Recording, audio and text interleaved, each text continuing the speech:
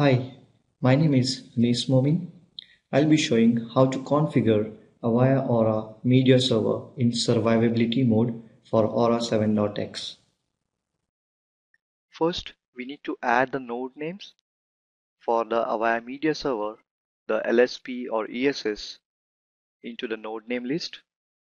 So I have already added the node names in my lab system that is Anis AMS that is the Avaya Media Server node name and its IP and uh, the Anis LSP that is the local survivable processor and its IP and also I have one more test AMS which I have used in my lab system and its IP.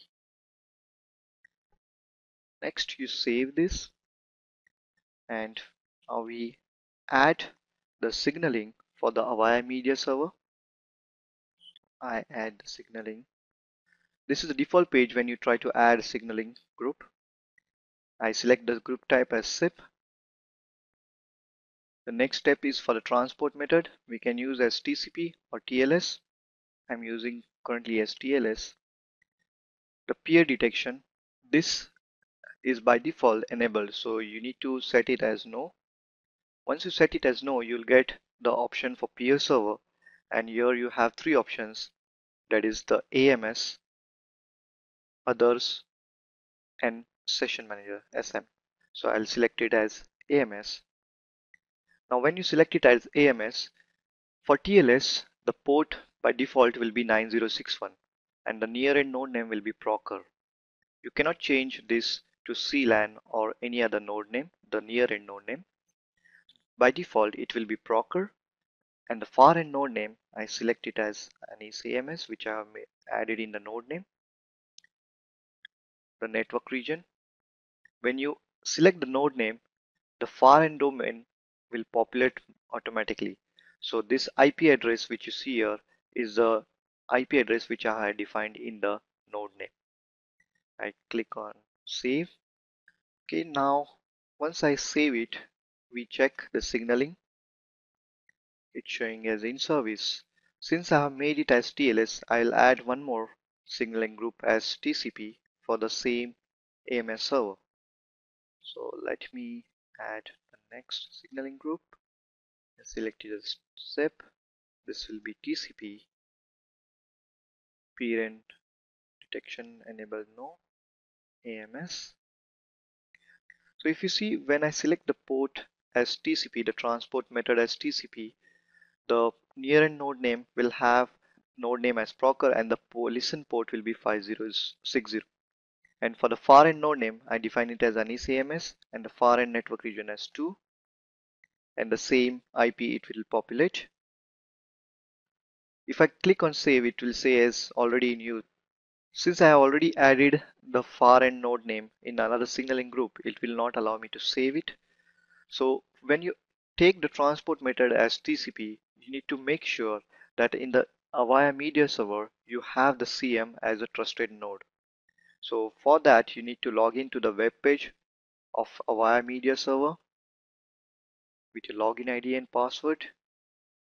Then go to the system configuration, signaling protocols, SIP, nodes and routes and here I added my CM IP in the trusted nodes.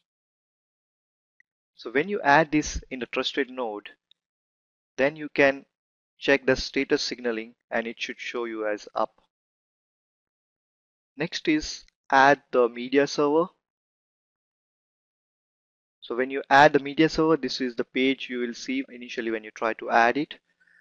Here will be the signaling group which I have added for the Anis AMS so I select it as 2 and here it, it will ask you for the dedicated VoIP channel licenses.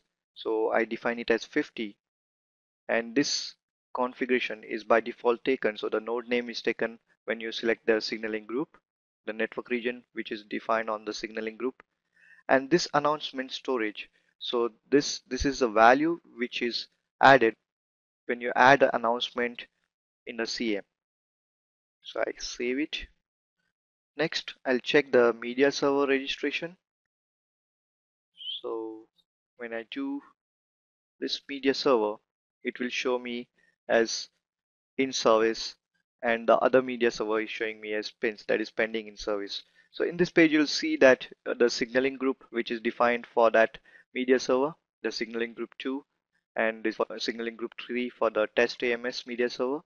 The dedicated licenses as I defined on the first page that was 50 and for the other media server it's 5 the network region associated with the media server and these are the states. So there are different types of state where the media server will show as in service out of service pending in service p-lock lock no license. So it it will it defines different types of state. So pending in service in the sense the cm is actively attempting to contact the avaya media server and trying to establish the needed control sessions. So the pending service state is it's very short-lived. It, it will last for few seconds. The Avaya media server or network should be examined for the problems. Next is to add the local survivable processor. In my case, I have already added this LSP. So here you have the type where you can select is at LSP ESS, the type which you want. The cluster ID MID for that survivable processor. So I have selected as 2. The Procer network region and the node name. Here is the difference which we have in the Avaya media server configuration. The second page of the survivable processor is the media server parameters. So this is basically the priority with respect to the media servers. So each survivable processor is assigned a priority with respect to media servers and this value can be from 2 to 9999. So the lower values are higher priority. Priority 1 is basically reserved for the main CM the range is broad so that you can leave unused numbers between each survivable processor to make it easier to add new survivable processor in the future. So I select it as 2 media server priority list. Next page is the MSRL that is the media server reporting list. So this this defines that each survivable processor with a non-blank priority is also given a media server reporting list so MSRL list so the MSRL defines which media server should be used to determine when that survivable processor goes active. Normally you would include one or more media server from each network region for which this survivable processor is acting as a backup. These are the two media servers which I added. So when you try you can add it as many as you want but at least two media servers from each network is recommended for the redundancy if desired, you can put all the media servers in the MSRL list. But however, it's not recommended to have all the media servers in the list. It can affect the server load and the network traffic. I save this, display survivable processor. So when I go to the survivable processor second page, this is the priority which I have defined as 2 for this survivable processor. Please note that the priority can also be blank any survivable processor with a blank priority will never become active due to the media servers. That survivable processor might still become active, however, if a port network or media gateway connects to it. So for example, I have with media servers, I have media gateways and port networks. This priority list is kept as blank, but the media gateway and port network, they try to register to the ESS or LSP. That LSP will still become active. But if the media gateway, there is no media gateway and no port networks and only media servers are into the environment. That survivable processor will not go active if this page is left blank. So it's important to have this priority with respect to the media servers defined. As we have the system parameter list for the media gateway recovery rules, the same way we have system parameters for MS recovery rules. So there are a few parameters like auto return. Here it is set as yes.